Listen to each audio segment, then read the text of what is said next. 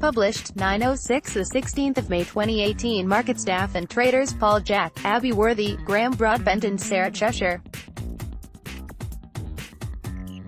Picture, Gravesham Council Archant join in at the market to watch the royal wedding on a big screen and take part in fun activities, including, make your own crown, a craft workshop so you too can be a crown prince or princess for the day, cream teas to celebrate in true British-style cupcake decorating classes, Prosecco truck for a glass of fizz to toast the happy couple face painting, why not get a British flag painted on your face?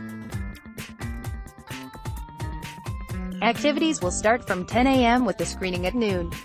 You can come dressed as a prince or princess and be in with a chance to win a prize. Judging will take place at 2 p.m. by the mayor of Gravesham, CLLR David Hurley.